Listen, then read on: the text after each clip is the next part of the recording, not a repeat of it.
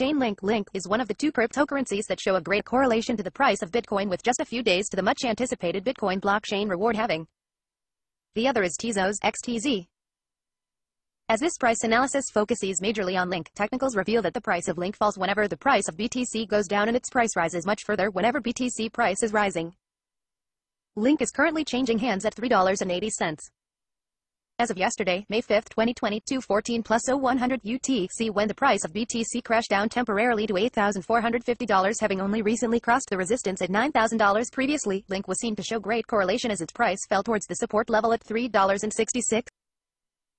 Also read, finally, the U.S. Senate proposes blockchain voting amid COVID-19 pandemic. Link technical analysis.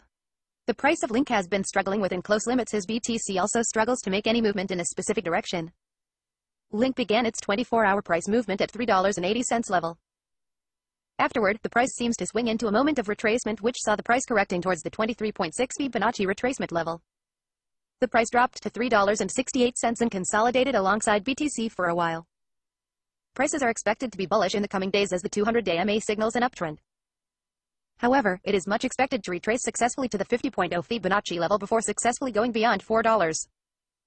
Link builds clear support levels with the $3.40 minus 3.50 area as the resistance at $3.85 minus 4 remains the key level to break. As Link becomes range-bound, a volatile price change can be expected to occur shortly.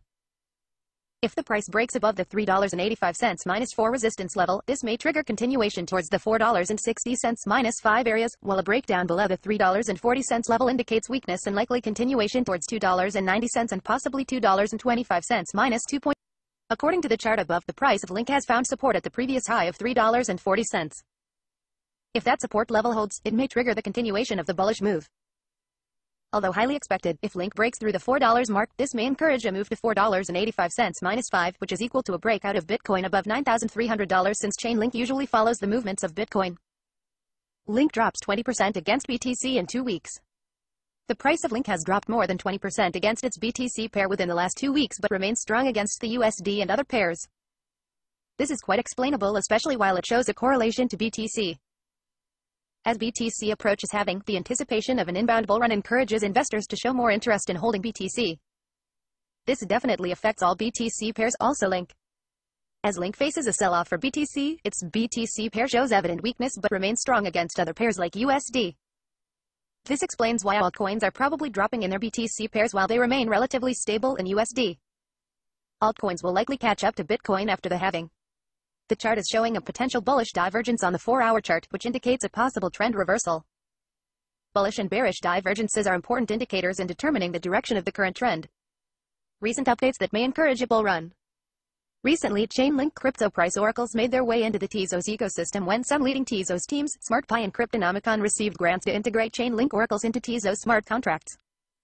This link, according to these teams, is a major prerequisite a truly DeFi ecosystem. Also, on Tuesday, May 5, 2020, popular crypto exchange Gemini announced that Link, as well as few other cryptocurrencies, made it to the exchange and are now open for trading.